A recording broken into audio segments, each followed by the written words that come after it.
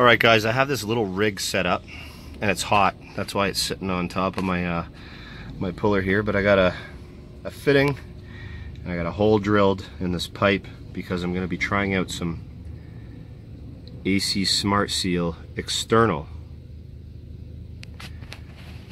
I'm going to put it over top of that hole there. We're going to fit it around. We're going to pull a vacuum on this pipe and let it cure and see how well it handles the pressure once it's cured up. So one important step I don't think that you should leave out is to clean the pipe thoroughly. Now I've taken some sandpaper and I've cleaned up the surface of this pipe before I apply the Smart Seal external.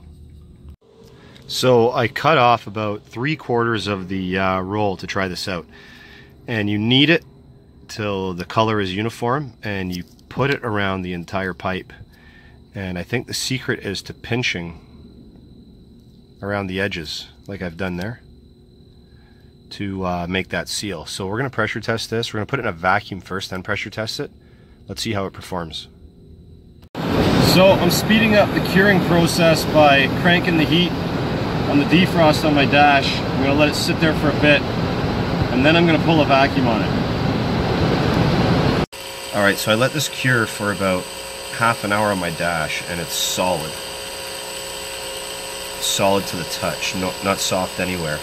I'm pulling a vacuum with the Navac NRP 6DI and the reason I'm pulling a vacuum is because I'm running through the same practice that you would run during a regular repair.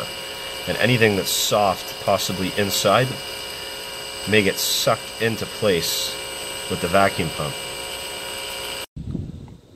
Okay, so we're charged up to about 415 psi, and I've soaped this whole thing here.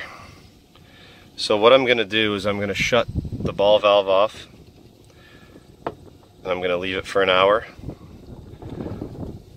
and then we're going to come back and check the pressure. Alright, it's been just over an hour, still no bubbles. And if we go back to the gauges,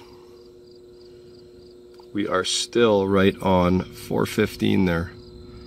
So I think that we can say that AC Smart Seal, external, it works. I think I proved to myself that it works and I would use it when I'm in a jam and probably keep it on my truck as truck stock to get me out of a jam in unique situations. Happy HVACing, guys.